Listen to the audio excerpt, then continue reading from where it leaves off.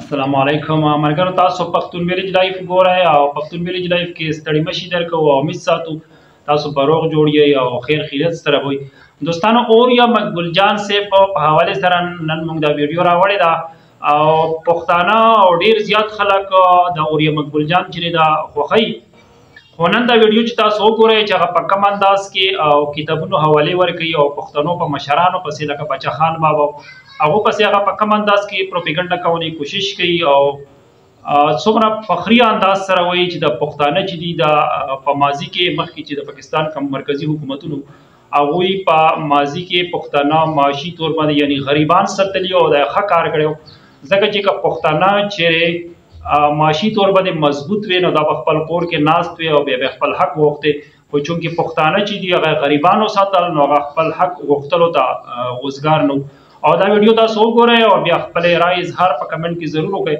او که تاسو چې موږ چینل باندې نه یو نو موږ د چینل سبسکرایب ضرور کړئ. او کله ویډیو مو خوښه شو نو دا لایک کړئ او ډیر زیاته شیئر کړئ نو راځي چې وګورو دا ویډیو اوریا سے ساٹھ، ستر، اسی کی دہائیاں اس مملکت پاکستان میں نظریاتی کشمکش کے تین سالوں سے عبارت ہے ان سالوں میں قوم پرست سیاست اور کامونزم دونوں ہاتھوں میں ہاتھ ڈالے سیاست کی عبادی ایک پرخار میں نارزن تھے۔ ان میں کانگریس کے ہم رکاب سیاستدان اور علماء بھی تھے، جن کی سیاست کا قائد اعظم کی مسلم لیگ نے انیس سو سینتالیس میں جنازہ نکال دیا تھا اور ترکیب پسند دانشوروں، ادیبوں اور شاعروں کی ایک نسل بھی شامل تھی۔ ان دونوں کی بنیادی نفرت پاکستان کی اسلامی احساس سے تھی۔ تخلیق پاکستان کے روز اول سے ان کمیونسٹوں دانشوروں اور قوم پرست سیاستدانوں نے پختون اور بنگالی قومیت کے استحصال اور مظلومیت کے نعروں کے ملبوس میں پاکستان سے نفرت کا زہر ایک منصوبے کے تحت بھرا۔ دونوں قوم پرستوں کے ڈانڈے بھارت سے ملتے تھے اور بنگالیوں کو تو براہ راست آشیرواد تھے بنگلہ دیش بننے کے بعد اندرا گاندھی سے لے کر نریندر مودی تک ہر وزیر اعظم نے پاکستان توڑنے کے جرم کا فخری اعلان کیا۔ میرے ملک کے بدجانت سیکولر لبرل دانشور آج تک اس پورے سانے کا الزام مغربی پاکستان کے عوام اب قدر بغض و اناد فوج پر ڈالتے ہیں۔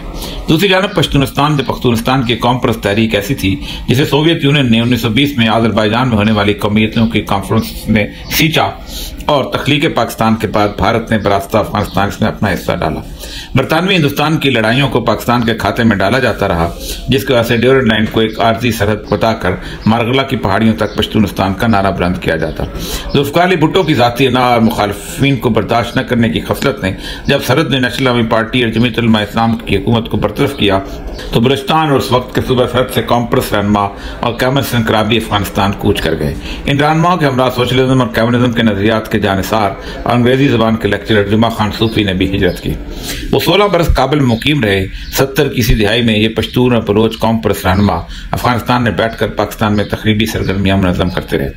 افغانستان میں روس کی شکست کے بعد جمعہ خان صوفی واپس آ گئے اور انہوں نے چالیس سال بعد اپنی خاموشی توڑی اور ان پس پردہ قوتوں کی کہانی بیان کی جو پاکستان میں باچا خان، عبدالولی خان، خیر بخشمری اور ایک خٹک کے ذریعے عدم استحکام پیدا کرتی رہی تھی۔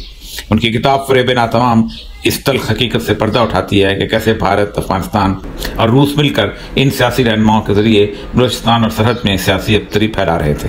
جمعہ خان صوفی کی یہ کتاب دو ہزار پندرہ میں آئی تھی اور اس نے پاکستانی تاریخ کے ان کرداروں کو بے نقاب کیا جو کبھی اس ملک میں سرخ سویرے کی جد و جہد کی علامت اور آج کل سیکولر لبرل بنے ہوئے ہیں۔ جمعہ خان صوفی ایک ایسا واقف راد درون میں خانہ ہے جو افغان صدور سردار داؤد سے لے کر ڈاکٹر نجیب اللہ تک افغانستان کے ہر حکمران کے قریب رہا۔ ڈاکٹر نجیب اللہ کو تو جمعہ خان صوفی نے اردو اور انگریزی زبان پڑھائی تھی۔ ایک کتاب میں جمع خان صوفی نے اس دکھ کا اظہار کیا ہے کہ وہ تمام سیاسی لیڈر جو کابل اور ماسکو میں بیٹھ کر بھارتی سفارت خانے کے توسط سے پاکستان کے خلاف ایک گھنونا کردار ادا کرتے رہے، انہیں جنرل ضیاء الحق نے محض بھٹو دشمنی میں معاف کر دیا۔ فریب ناتمام ایک ایسی کتاب ہے جسے مدرمان کمیشن کے ہمراہ ایک ساتھ قومی سیاسی تاریخ کا حصہ بنانا چاہیے، اس لیے کہ یہ ان تمام کرداروں کے اصل چہروں سے نقاب لڑتی ہے۔ یہ چہرے آج بھی میرے ملک کے موجود و محترم سمجھے جاتے ہیں۔ ہمارا دانشور انہیں جمہوری جدوجہد کے ہیرو بنا کر پیش کرتا ہے، لیکن میرے ملک سے ان رہنماؤں کی نفرت کمال کی تھی۔ یہ لوگ پاکستان کی فوج کو گالی دیتے تھے اور آج بھی ایسا ہے، لیکن روس کی فوج کو امن و انصاف کے علم بردار پکارتے تھے۔ اور اب امریکی افواج کو انسانی حقوق کی علم بردار کہتے ہیں۔ انہی رہنماؤں کی کرم فرمائی سے پاکستان کے وجود اور سرحدوں کو متنازع بنانے کے لیے ڈیورن لائن کا تنازع مدت و زیر بحث لایا جاتا رہا۔ یہ لائن افغانستان اور برطانوی ہندوستان کے درمیان اس وقت کھینچی گئی تھی جب افغانوں کے ساتھ گندمک معاہدہ ہوا تھا۔ پاکستان کو یہ سرحد ورثے میں ملی، جسے متنازع بنا کر بلوچستان میں سرحد کے پشتونوں کو افغانستان کے پشتونوں کے ساتھ ایک اکائی ثابت کر کے پاکستان سے لہدگی کی تحریک چلانا مقصود تھی۔ ساٹھ اور ستر کی دہائی میں تین نعرے بلند ہوئے تھے۔ بنگلہ دیش پشتونستان اور سندھو دیش بنگلہ دیش بن گیا تو ان قوتوں کو حوصلہ ملا، لیکن سندھ نے بھٹو کی مقبولیت اس نعرے کو کھا گئی۔ دوسری جانب معاشی ترقی نے مشتونوں کو اٹک سے پار پاکستان خیر کونے میں پھیلا دیا۔ ٹرانسپورٹ اور روڈ سائڈ ہوٹلوں کا کاروبار پختونوں کے لیے مخصوص ہو کر رہ گیا اور آج بھی ہے۔ یوں پورے ملک میں پھیلے پشتونوں کے مفادات نے پشتونستان کے نعرے کے غبارے سے ہوا نکال دی۔ آخری بار ڈاکٹر نجیب اللہ کے دور میں محمود خان تقری نے ایک نعرہ برند کیا، دا بولانا تھا چترالا پشتونستان دی پشتونستان دی۔ یعنی بولان سے چترال تک پشتونستان ہے۔ اس نعرے کو بلوچوں نے اپنی خود مختاری پر حملہ تصور کیا اور کوئٹہ میں نائنٹین ایٹی ایٹ کا وہ بھرپور جلسہ جس کی قیادت نواب اکروٹی نے کی تھی، اس میں اعلان کیا گیا کہ چترال کو جو مرضی کہو، مگر بولان کو پشتونستان مت سمجھنا۔ اس کے بعد پشتونوں اور بلوچوں میں ایک ایسی جنگ شروع ہوئی کہ اسی اور نوے کی دہائیوں میں کوئٹہ خون سے رنگین ہو گیا۔ پاکستان اور افغانستان کے درمیان اسی متنازع ڈیورنٹ لائن اور اس سے متعلق سازشی نظریات کے بارے میں تاریخی عقائد کے ساتھ جمعہ خان صوفیہ ایک نئی کتاب لائے ہیں، جس کا نام ہے نام نہاد ڈیورنٹ لائن دادے پوتے کی سرحد، دستاویزات اور تجزیات۔ یہ کتاب پشتو زبان میں لکھی گئی تھی، اب اس کا ایک ہی جلد میں انگریزی اور اردو ترجمہ شائع کیا گیا ہے۔ اس کتاب میں لاوتعداد دستاویزات کی مدد سے جمان خان صوفی نے یہ ثابت کیا ہے کہ پاکستان کی سرزمین پر افغانستان کا زمینی دعویٰ بے بنیاد ہے۔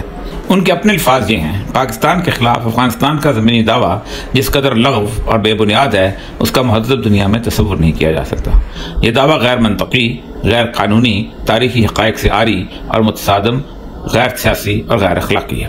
اس دعوے کی بنیاد محض جذباتی اور قواری تعصبات پر قائم ہے، جس کے لیے عالمی قوانین میں کوئی گنجائش نہیں۔ اپنے انفاظ کے ثبوت میں جمعہ خان دہوبی نے اس کتاب میں ناقابل تردید شواہد پیش کیے۔ جمعہ خان صوفی کی دوسری کتاب افغانوں کا پٹ خزانہ، اصل جاری خزانہ ہے۔ یہ بھی پشتوں میں لکھی گئی، پھر اردو میں ترجمہ ہوئی۔ اس کتاب میں جمعہ خان صوفی نے انیس سو چینتالیس میں شائع ہونے والی پشتو عدد کی مشہور کتاب پٹا خزانہ کا پوست مارٹم کیا ہے۔ جمعہ خان کے مطابق عدد کی اس کتاب کو خاص سیاسی مقاصد کے لیے مرتب کیا گیا تھا تاکہ پشتو کو عبرانی سے بھی زیادہ قدیم ثابت کر کے قومیت کو اسلام سے مضبوط اور قدیم ثابت کیا جائے۔ اسی پٹا خزانہ ہی سے دوری خان کے اس زبان سے دیام فکر نے جنم لیا تھا کہ ہم تین ہزار سال سے پشتون، چودہ نو سو سال سے مسلمان اور ساٹھ سال سے پاکستانی ہیں۔ جمعہ خان کے بقول پٹا خزانہ کو افغان پشتونوں نے قرآن سے بھی زیادہ مقدس سمجھا تاکہ پشتون قومیت کا بیج نسلی تفاخر میں بویا جائے۔ لیکن جمعہ خان کے اس کتاب کے پوسٹ مارٹم نے حیران کر دیا ہے۔ یہ دونوں کتب بہت مختصر ہیں، لیکن انکشافات حقائق کا خزانہ ہیں۔ جمعہ خان صوفی کی پہلی کتاب فریب ناتمام ایک ایسے پبلشر نے چھاپی تھی جس نے اسے لوگوں تک پھیلانے سے شاید عملاً روکے رکھا۔ مرگر تو پسند نتیجہ ہو رہا رسی دی په کمنټس کې خپل رائے ضرور راکړئ او په ډیر خیال وساتئ. او اجازه غواړو د الله په امان